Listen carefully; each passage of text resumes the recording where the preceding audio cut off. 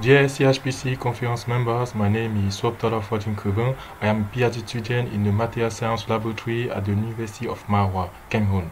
I am very pleased to participate in the National Conference of the Center for High Performance Computing 2021 under the theme Computational Study of Increasing Absorption Capacity, Optical and Non-Optical Property of Graphene Oxide Molecule. This work was done under the supervision of Professor Changanywa Fridola, University of Maroua, Dr. Lajimalung, University of Free State, and Professor Jeanet Conradie, University of Free State. As an introduction, graphene oxide is a nanomaterial with a hexagonal carbon structure similar to that of graphene, but with oxygen functional group lying to the surface.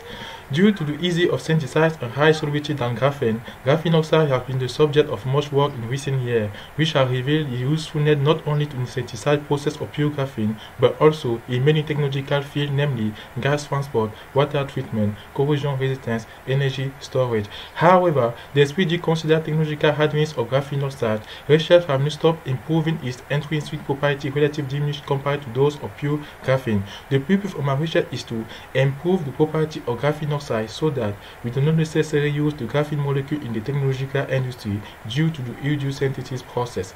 The main objective in this work is to control the presence of impurity within the honeycomb lattice of the morphine molecule in order to design new efficient material based on graphene oxide showing good aptitude in nanotronic device. In this work, we used DFT method to perform the property of student compound. All the geometry of student compound were modeled in the GaussView software. The DFT calculation were conducted using the high-performance computing facility of the CHPC in South Africa through Gaussian 16, using three hybrid functional such as B3, B3, D3, and Omega B97 XD associated to the pre-pool basis set containing one diffuse function and two polarized function. His job typically ran 78 hours and 24 processor and generate output file approaching 50 megabytes.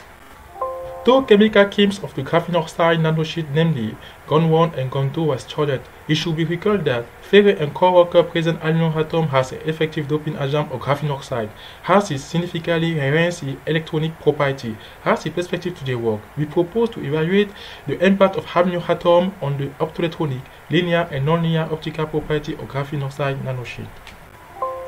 The evaluation of the impact of the aluminum atom on the nonlinear optical property of oxide has shown that the substitution of half carbon atom which support the functional group within the system is very effective to drastically increase the first order hyperpositivity parameters.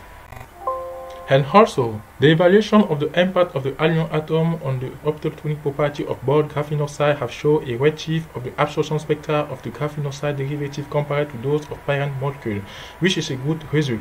However, it should be noted that the substitution of the carbon atom supporting the functional group at the edge of the graphene oxide is found to be very effective to increase its light absorption capacity. We are grateful to the Center for High Performance Computing in South Africa without which it would be impossible to obtain the results related to the different quantum calculation performed all the student compound due to the size of their molecular system. Thank you very much for your kind attention.